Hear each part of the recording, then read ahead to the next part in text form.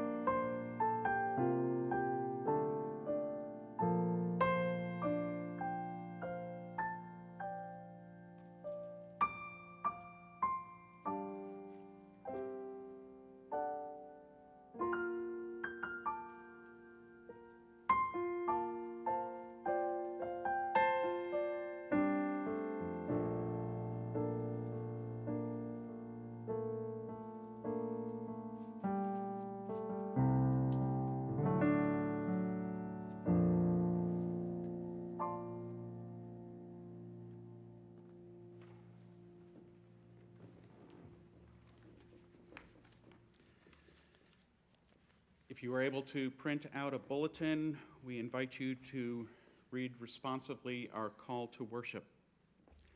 Christ is risen. He is risen indeed. Alleluia. Christ is risen. He is risen indeed. Alleluia. Christ is risen. He is risen indeed. Alleluia. May our alleluias rise to the heavens. May our joy spill over into a thirsting world. New life is ours the, this day and always. With heart and soul and mind and strength, we gather to give you thanks and praise, Almighty God. Our first hymn is Christ the Lord is risen today.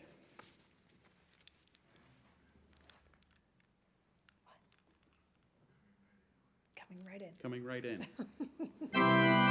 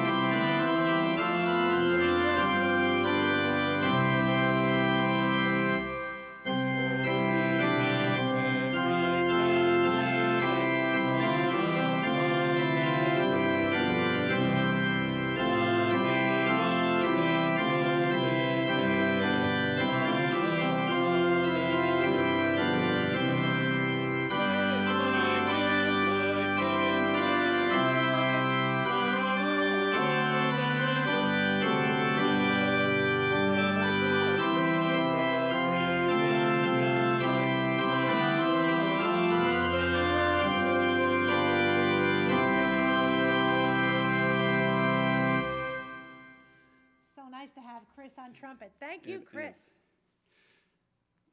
Let us pray together our gathering prayer, followed by the Lord's Prayer. As we gather together across the miles, as we celebrate this glorious day, move among us and connect us, O God. We rejoice today because the tomb is empty. Separation does not have the last word. Death does not have the last word. Because he lives, we too live. so help us to proclaim this good news, not just with our words, but with our whole lives. Jesus Christ is risen. He is risen indeed. Alleluia. We pray these and all things in Jesus' name, who taught us when we pray to be bold and say, Our Father, who art in heaven, hallowed be thy name. Thy kingdom come, thy will be done, on earth as it is in heaven. Give us this day our daily bread, and forgive us our debts as we forgive our debtors. And lead us not into temptation, but deliver us from evil. For thine is the kingdom, and the power, and the glory forever. Amen. And our song is Hallelujah.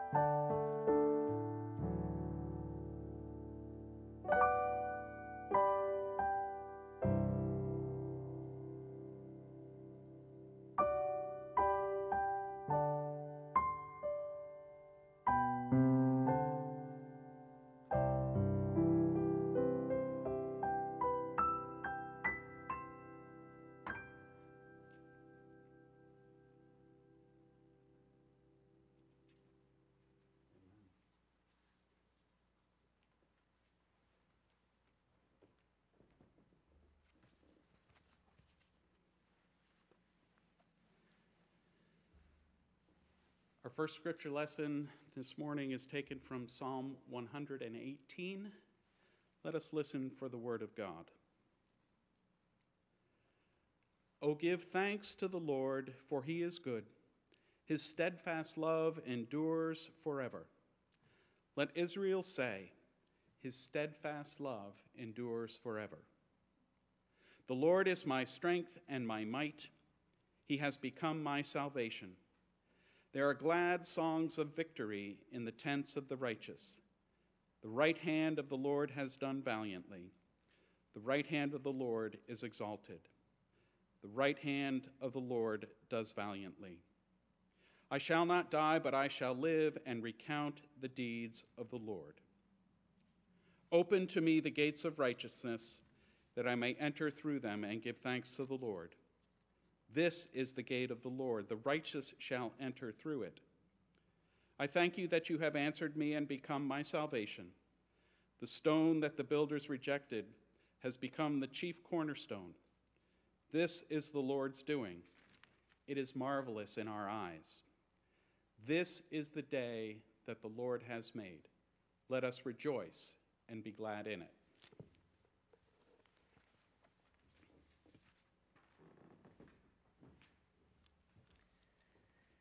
Our second scripture is from the Gospel of Mark, chapter 16, verses 1 through 8. This is Mark's version of the Easter story. When the Sabbath was over, Mary Magdalene and Mary, the mother of James, and Salome bought spices so that they might go and anoint him. And very early on the first day of the week, when the sun had risen, they went to the tomb. They had been saying to one another, Who will roll away the stone for us from the entrance to the tomb? When they looked up, they saw that the stone, which was very large, had already been rolled back. As they entered the tomb, they saw a young man dressed in a white robe sitting on the right side, and they were alarmed. But he said to them, Do not be alarmed. You are looking for Jesus of Nazareth, who was crucified.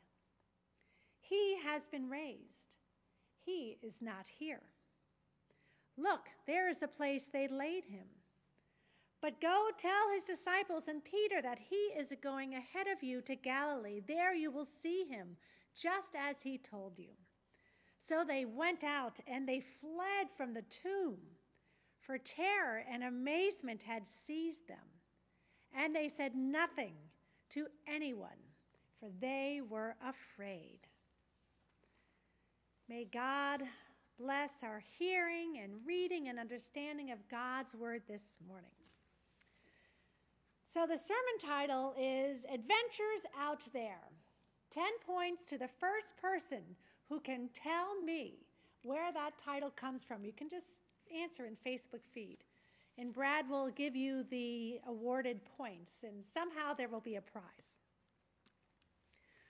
Back in the 90s, there were a series of children's books that allowed the reader, the kids, to choose their own ending. Anyone remember those? The story would take you just so far, then it would stop and ask you which way you wanted to go. They were called Choose Your Own Adventure books, and they were very popular because the reader, and I'm quoting now, the reader gets to actively participate in the story and determine the course the book will follow. Our scripture reading this morning is a little like those choose your own adventure books. It just stops, kind of suddenly, with the women fleeing from the tomb, being both amazed and terrified, and then saying nothing to anyone because they were so afraid. The story just kind of stops.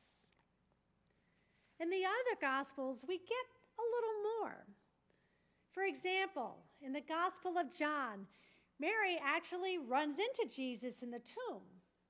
And after mistaking him for the gardener, they have this wonderful homecoming of sorts. And he tell her, tells her to go and tell the others. Tell them that I am ascending to my God. And she does. She runs to tell the disciples, I have seen the Lord. In Matthew's gospel, an angel meets the women at the tomb, rolls away the stone for them, and then tells them, Jesus isn't here. He is raised, raised from the dead. Go quickly and tell the others. So they run from the tomb and then they run smack into Jesus. Greetings, he says, as if it's just an ordinary day. They try to hold on to him. They're so glad to see him. And he says, Go and tell my brothers. Off they go to tell them the good news. He is risen. Even in Luke, while the women are terrified at seeing the two men who are in the tomb, angels maybe, after he tells them the good news that he is risen, they run off and they tell the disciples. Peter doesn't believe them because that's Peter. He heads back to check the tomb for himself, sees that it is empty, and he is amazed. The other gospels give us much more to this story. People are told the good news is shared. There is terror, there is amazement, there is joy. Christ is risen. He is risen indeed. In Mark's gospel, it's like those old choose your adventure books. We get to choose what happens next. Like, will we share the good news? Will we tell others around us that Jesus is risen? The tomb is empty. And that means something. It means something to us all. There is new life for him, for you, for all of us. Because he is risen, we can rise too. Or will we take the information we just heard and do nothing? Because that's an option too. Maybe we choose to do nothing because we're afraid, like the women were. We don't know what this resurrection stuff really means. Or maybe we do. Jesus Christ is still alive, and that means we have to keep following him, and that can be scary. It was scary for the woman at that time, Jesus just having been crucified, and it can be scary for us too. Not everyone wants to hear the good news of Jesus Christ that tells us we get to love the least of these among us. We get to work to bring God's kingdom of peace and justice all around us. Try talking to family or friends about racial, racial justice or advocating for gun control. It's not that easy. It can be pretty scary. Or maybe we're tired. And really, after all that we've been through this past year, who isn't? I know I am. Maybe we just need to rest. We have choices. Of course, before you choose, it helps to know what exactly you are choosing. I said just a moment ago that Jesus rising from the dead means something. There is new life for him and for us. Because he has risen, we rise too. And I have often made people in church sing on Easter Sunday morning this song to help illustrate that point. Perhaps you've heard it at church camp, or maybe you've heard it at Vacation Bible School. The rise and shine and give God your glory, glory. There are hand signals. So if you know them, I invite you to use them because I believe everything is better with hand signals. So you rise and shine and give God your glory, glory. Come on, Brad, rise and shine and give God your glory, glory. Rise and shine and give God the glory, glory, children of the Lord. And I make people sing that because I think that's what Easter is about. It is about rising and shining. It's time to take all that good stuff that we have inside of us, all that stuff that Jesus has given us, all that he has taught us, to rise and to shine. But now I think there is a better song to help explain what has happened, what's going on here, what Jesus' resurrection means to you and to me.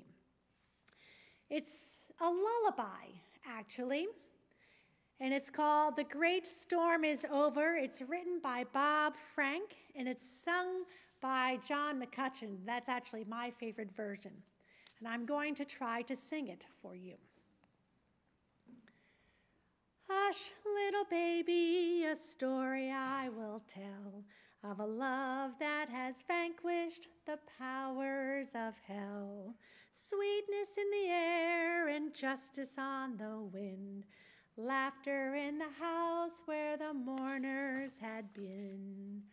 Alleluia, the great storm is over. Lift up your wings and fly. The deaf shall have music, the blind have new eyes, the standards of death taken down by surprise. Release for the captives, an end to the war. Streams in the desert, new hope for the poor. Alleluia, the great storm is over. Lift up your wings and fly. Hush, little baby, let go of your fears. The Lord loves his own, and your mother is near. The babe fell asleep as the lantern did burn. The mother sang on until her bridegroom's return. Alleluia, the great storm is over. Lift up your wings and fly. Alleluia. The great storm is over. Lift up your wings and fly. And that, I think, is Easter. Jesus Christ is risen. There is new life for him and for us. And because he is risen, we can rise too. Death has been defeated. Love has triumphed over evil and will always triumph over evil, even if it takes a little time. The great storm is over, so lift up your feet, your wings and fly. Let go of your fears. You don't have to be afraid anymore. Mark's story has ended. It has come to a stop. And now you get to actively participate in it and determine the course the book your life takes. It's time to lift up your wings and fly. And if you are ready to do that right now, then how great is that? Go get them. And if you need to rest a little, that's okay too before then. And if you're a little afraid, well, that's okay as well. Rising and shining, lifting up your wings and flying is not easy. It often turns out that before resurrection, before you embrace new life, there is often fear. Look at the women in the Bible story this morning, and the disciples too. Turns out that men are often as afraid as women. And if you look back at your own life and the experiences that you have had as you've let go of the old and embraced new life, I bet you'll find that there was some fear first. But oh, the feeling afterwards amazement, and joy, new life. Adventure is out there. The great storm is over. Lift up your wings and fly. Happy Easter, everyone. Amen.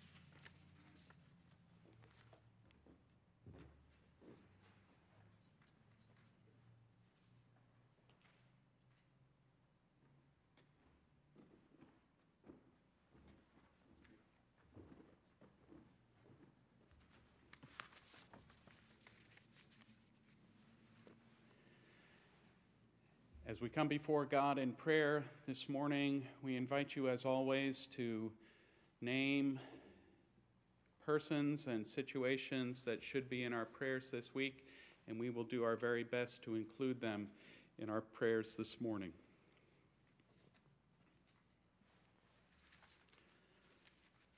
Let us come before God in prayer.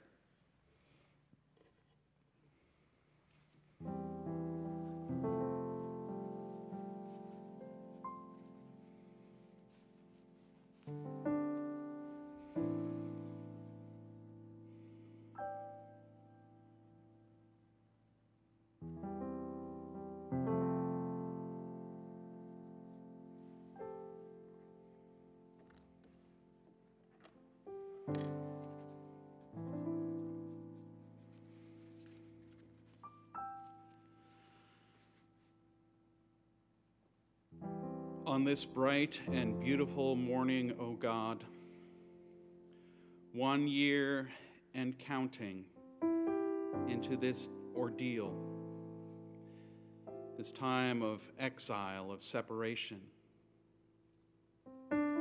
Even still, even today, we praise you, O God of love and life and new life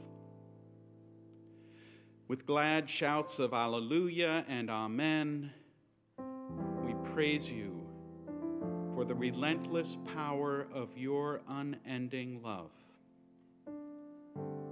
A love revealed to us and all in the life, death, and resurrection of Jesus of Nazareth. In him you expose the failure of hatred and violence and murder. In him you have broken the grip of death. In him you have given to us the gift of new and everlasting life. And so we bring our whole selves to you in praise forever.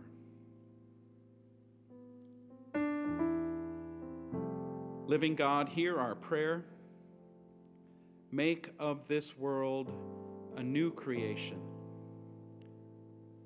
Give us the courage and determination to be builders of your righteous kingdom here on this earth.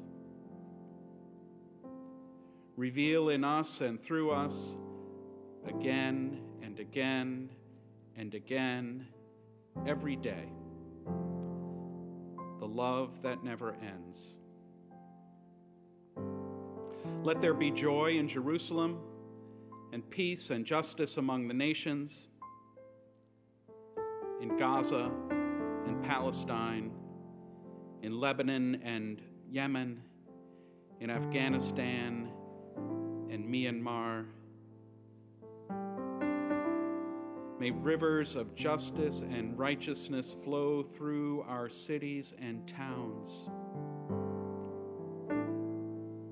In Atlanta and Orange, California, in Virginia Beach and Minneapolis, in Washington, D.C., and here in South Berwick and Kittery and Eliot and York and Portsmouth and wherever we are gathered, near and far, let the sounds of weeping and cries of distress transform to shouts of joy and laughter. Let infants grow and thrive. Let trans people and Asian Americans live free from fear and persecution. Let the old dance like children and children live to be old. Bring all your hurting people healing and wholeness.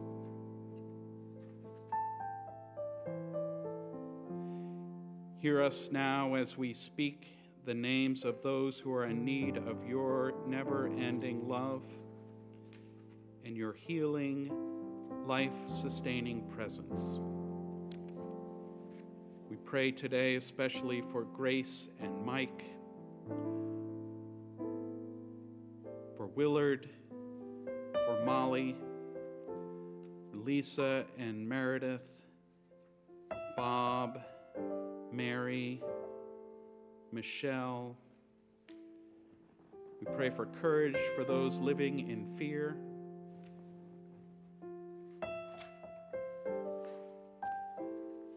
Pray for Annie and Brian, all those who are in transition in their lives.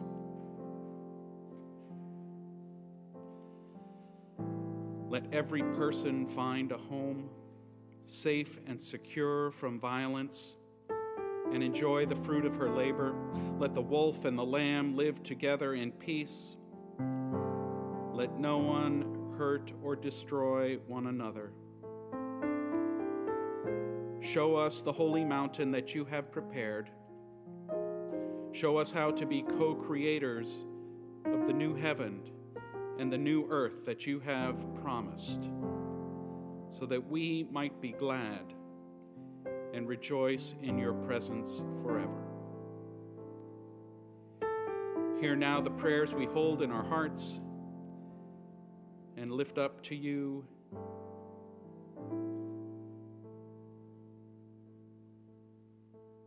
Even as we pray for ourselves.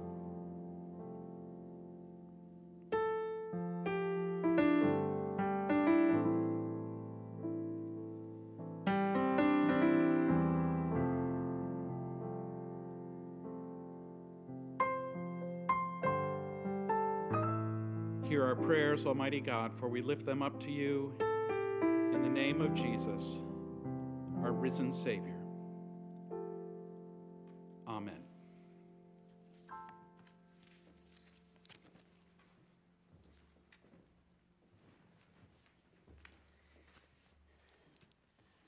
We invite you to a time of great offering, to offer who you are to God and to God's people this week.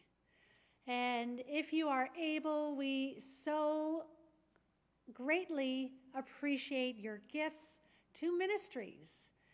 And there are many ministries, but your churches especially. Um, we are able to come to you and to be active in our communities because of your gifts.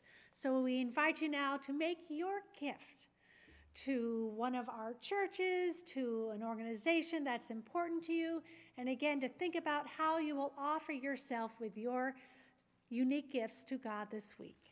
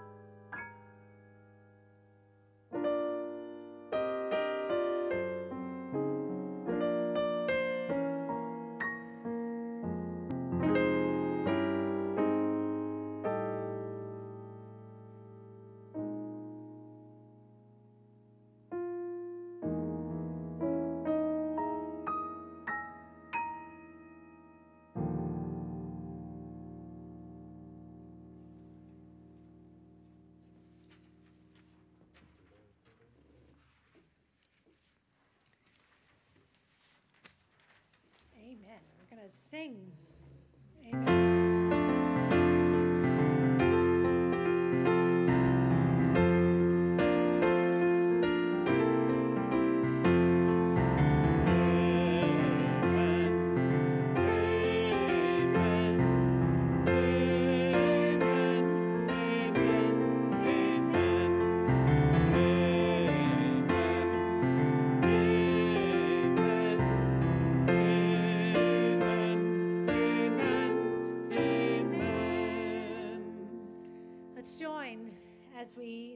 Our gifts.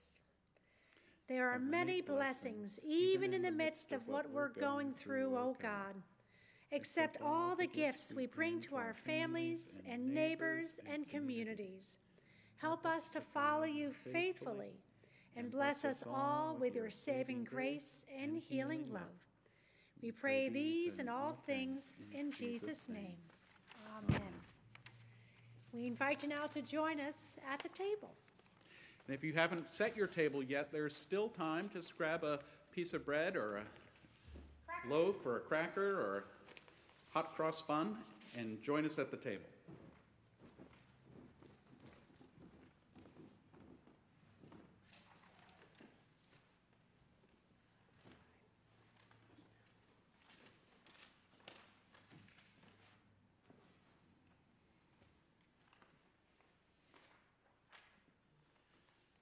For communion this morning, we invite you to lend Christ your table. As the woman in the upper room lent him the Passover table, and two friends from Emmaus welcomed him to their table, one they thought was a stranger. Lend Christ your table, your bread, your cup, and your open to strangers' heart. We come from heartfelt hosannas in a long season of feeling like withered fig trees. We come from an alabaster jar, abundance of love and hard questions. We recognize experiences of betrayal, denial, and the feeling that everyone we love has fallen asleep and left us alone. So we recognize this holy story. We remember that Jesus washed feet and offered a covenant of himself broken and poured out for a small group of followers long ago and for us in our time. He was risen on Easter, though even in the joy of resurrection, he kept blessing and teaching, accepting hospitality, and giving us hope to eat.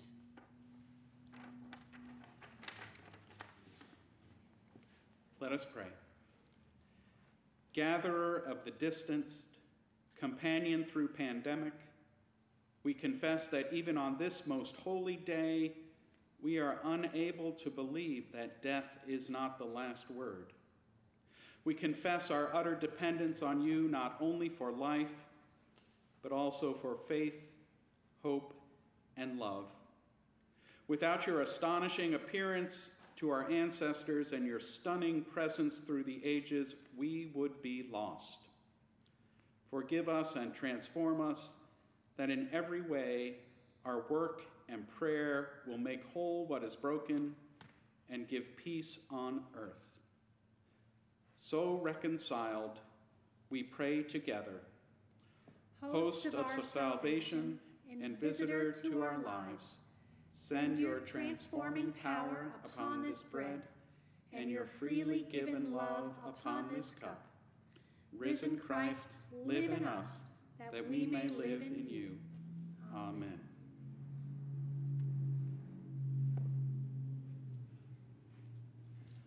The bread on your table is blessed and broken, a meal of grace. Sharing love, we will never be hungry.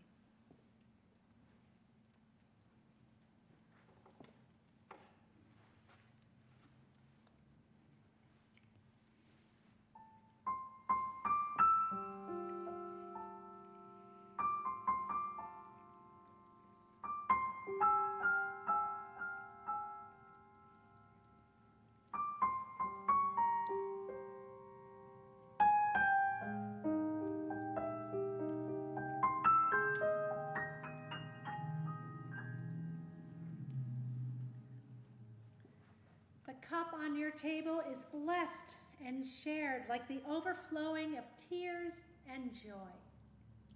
Drinking deeply, we will never thirst.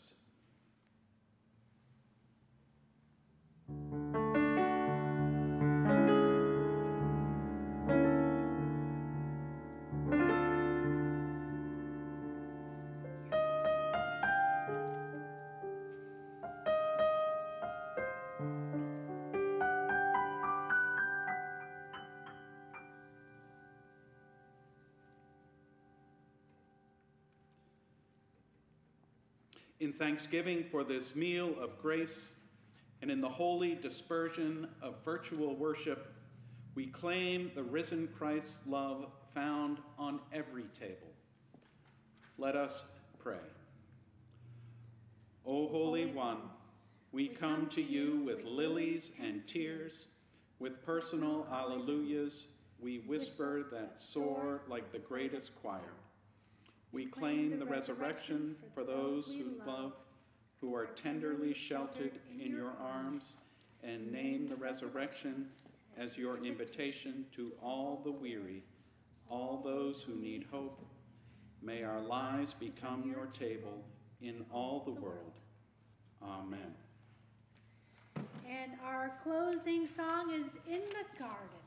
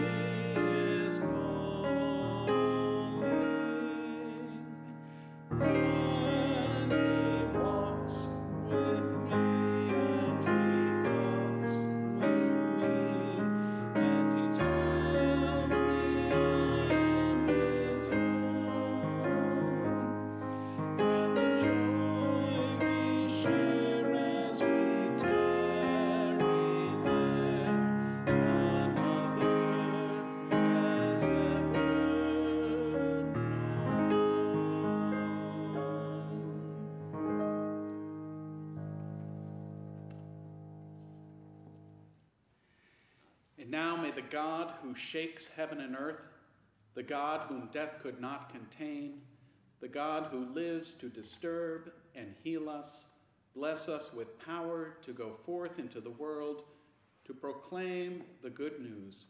Christ is risen. He is risen indeed. Alleluia. Happy Easter, everyone. We'll see you soon.